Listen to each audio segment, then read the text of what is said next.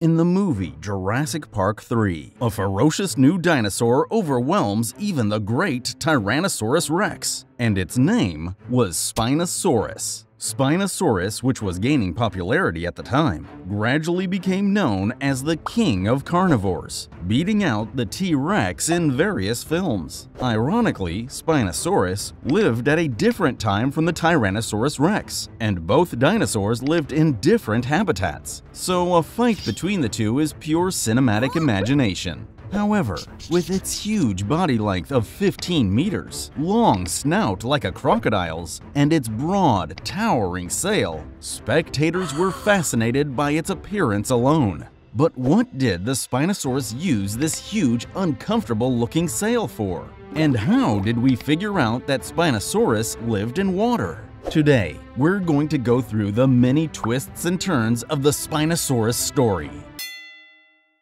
In 1912, German paleontologist Ernst Stromer discovered a few curious dinosaur fossils in western Egypt. He unearthed a lower jaw, some teeth, vertebrae, and a neural spine sail. In 1915, Ernst, who noticed the unique backbone, named the dinosaur Spinosaurus aegyptiacus, meaning Egyptian spine lizard. And when Dr. Ernst looked at the conical sharp teeth of the lower jaw of Spinosaurus, he thought it was a theropod carnivorous dinosaur like the T-Rex, and so published this reconstruction.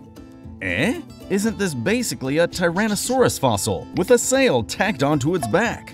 Of course, at the time, there were no complete Spinosaurus skeletons to work with, and the prevailing idea was that dinosaurs dragged their tails on the ground, so the recreation was completely different from what we have today. However, several questions still lingered in Dr. Ernst's mind. Why were the teeth shaped like pointed cones instead of serrated edges? And what was the role of that huge neural spine sail attached to the vertebrae? And so forth.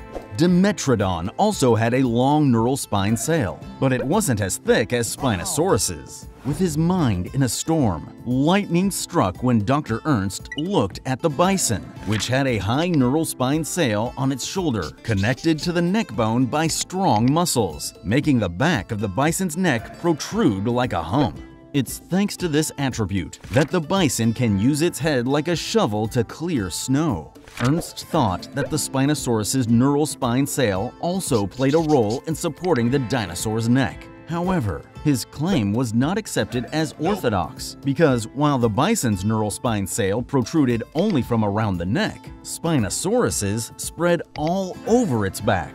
As no Spinosaurus fossils had been discovered for nearly 100 years, no one could really present any counter-arguments. Then, in April 1944, the Bavarian State Museum of Paleontology and Geology in Munich, where all of our Spinosaurus fossils and restorations were being kept, was blown up in an Allied attack during World War II, destroying the only information we had on the creature. While things certainly seemed bleak, thanks to the discovery of new fossils about 40 years later, we began to find some light at the end of this tunnel. The first of these was Baryonyx, excavated in 1986. Baryonyx had conical teeth and a long snout like Spinosaurus, but interestingly, was discovered with fish scales in its stomach. For this reason, Baryonyx was classified as semi-aquatic, followed in 1996 by Irritator in Brazil and by Suchomimus in Africa back in 1998. These discoveries prompted paleontologists to speculate that Spinosaurus, which resembled these dinos, also lived in aquatic life. It came as a shock to the academic world that the gigantic theropod, then thought to have only lived on land, could also have been part aquatic.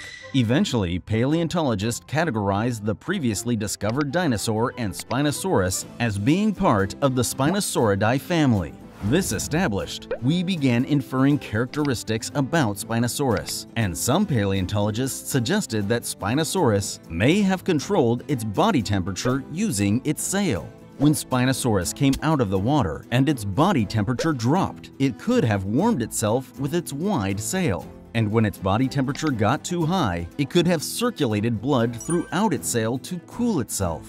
On the other hand, Professor Jack Bailey speculated that their sails were more like energy tanks than thermoregulators, and that Spinosaurus used its sail to store energy sources like fat.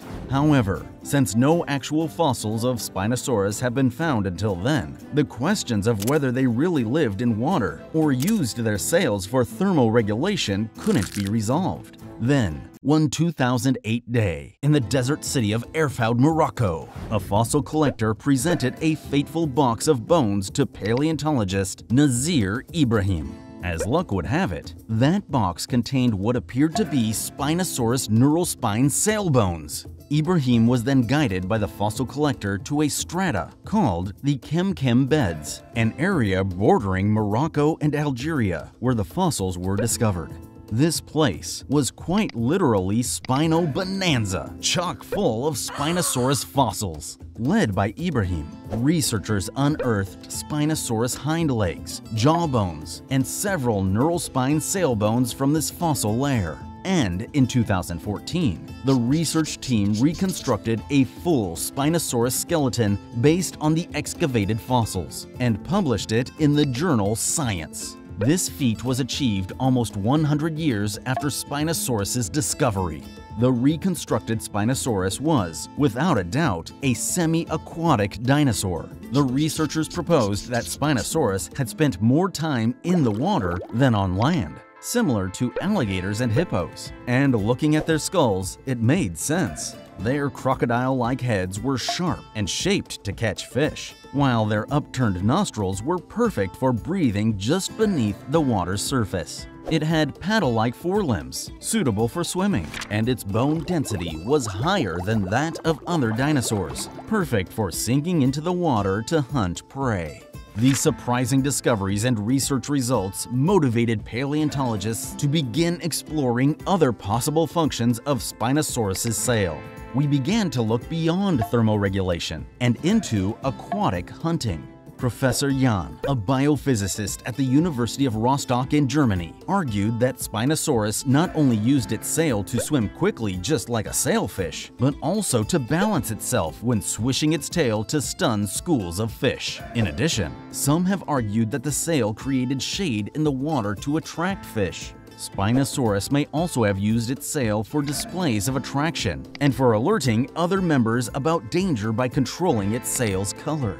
Although no concrete theory exists yet, many paleontologists are arguing that, like the feathers on dinosaurs, the sails of Spinosaurus were originally a trait that appeared for a specific purpose, but was later used for a variety of functions. In any case, it is clear that discussions concerning Spinosaurus became more active thanks to the research published by Dr. Ibrahim. And starting in 2014, when the results of his study were published, discussions about Spinosaurus's gait also picked up steam. Before this study was published, it was widely accepted that Spinosaurus had been bipedal like other theropods, but Dr. Ibrahim showed that Spinosaurus may have walked on all fours, judging by its long forelimbs and short hind limbs, which would have put its center of mass closer to its head. Spinosaurus may have been the first quadrupedal theropod ever discovered. In response to this theory, Dr. Scott Hartman and Dr. Mark Witton showed that Spinosaurus's hind legs may have been longer than expected,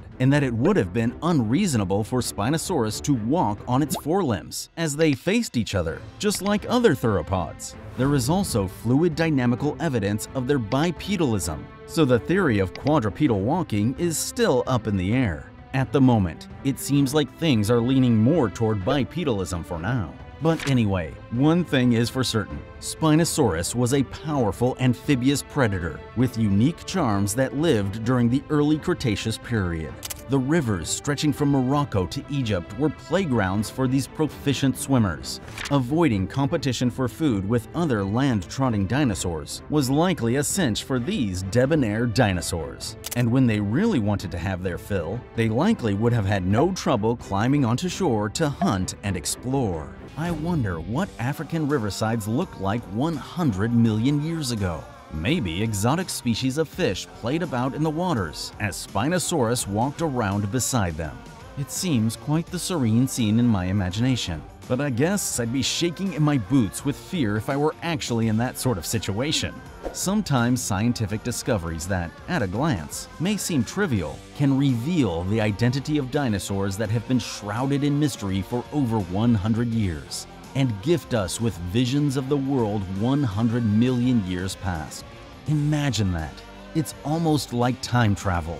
So too, science is a window to the world. This has been Science Dream. Thanks for sticking with us till the end. Time for a nap.